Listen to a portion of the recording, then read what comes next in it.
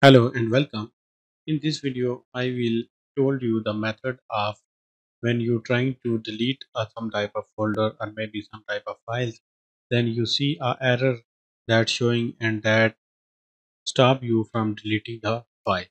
Uh, let's see it from the demo. When I want to delete this type of folder, as you can see, when I try to delete this type of folder, it giving me error of the action cannot be completed because the file or a folder in it is open in another program.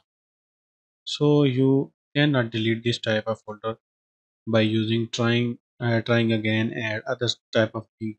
You simply cancel it. When I again trying to uh, delete this type of folder, it again giving me this type of error. So here what I need to do to delete this type of file, I need to get rid of this type of file. So here is the method you need to apply in order to quickly delete this file in just a, a matter of seconds. So here what will you do? Please follow me along. You just need to go to this search bar of window and write is res m o n exe and hit the enter button. Now a new window will pop up in front of you. As you can see, here is Overview and you need to go to CPU tab. In CPU tab, you need to go to associate handles.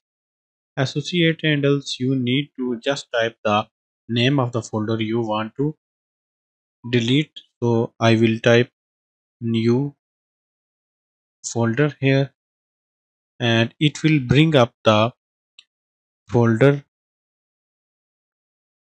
I want to delete and it will bring up the uh, system files that are using the folder and that are creating issue for deleting the folder.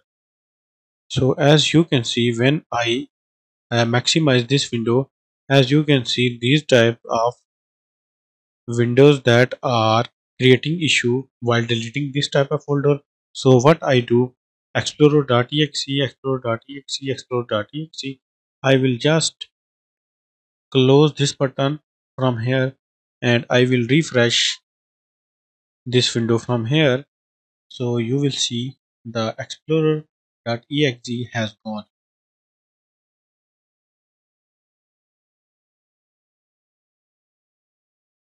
so here you can see a new a program that is creating issue for deleting the file and that program is using uh, the files from the folder. So you can see the program is called snagit editor.exe so what i will do i will just go here and as i can see that here is my snagit program. So i will exit the snagit program here rather than uh, stopping the program here end process. And one by one I will go here and I will stop the program from here. And I will press the snagit option and exit text with snagit from here. So after exiting text with snagit I will again refresh this window from here by using this icon of refresh.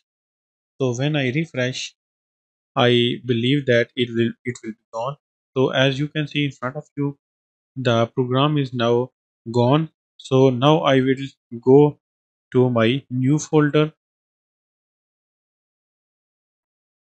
So now when I want to delete this folder this folder will be deleted. First I need to want uh, open this folder and I will control A and then I will select to delete and everything has been deleted as in front of you. Now I will delete this folder and this folder is deleted. So this is the process you need to implement in order to uh, get rid of this type of error. I hope you will like this type of video and keep watching and keep subscribing. Let's see you in the next video